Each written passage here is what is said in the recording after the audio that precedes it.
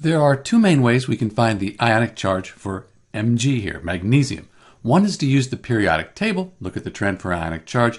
Another, look at electron configurations. Let's look first at the periodic table, and we can see that there's a trend for ionic charge. Group 1, 1 plus. Group 2, all of these elements in group 2 have a 2 plus ionic charge. And magnesium, right here, is in group 2. So its ionic charge is 2 plus. And you can see that the trend continues across the periodic table. We do skip the transition metals here and some of these, and we end up with the noble gases, which have a full outer shell and they don't have a charge.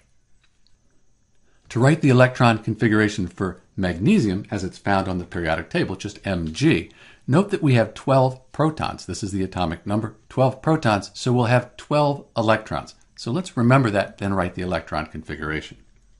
We'll start with the first energy level, 1, and the orbital, the s orbital. We can put 2 in there. Then we move to the second energy level, have an s, put 2 there. 2p, that can hold up to 6. So we've used 10. This energy level is full. We go to the 3s, and s, they can hold up to 2. So if we put 2 in here, 2 plus 2 is 4, plus 6, 10, 12. So we've used all 12 electrons for magnesium. So this is the electron configuration.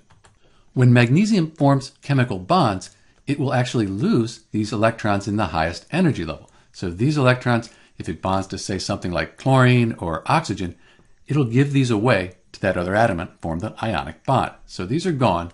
That means we've lost two electrons. Electrons are negative, so we've lost two negative charges. We're 2 plus, which is the ionic charge for magnesium.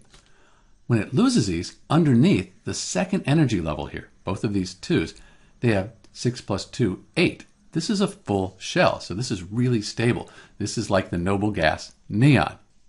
And that's why magnesium has a 2 plus ionic charge. It loses these two valence electrons.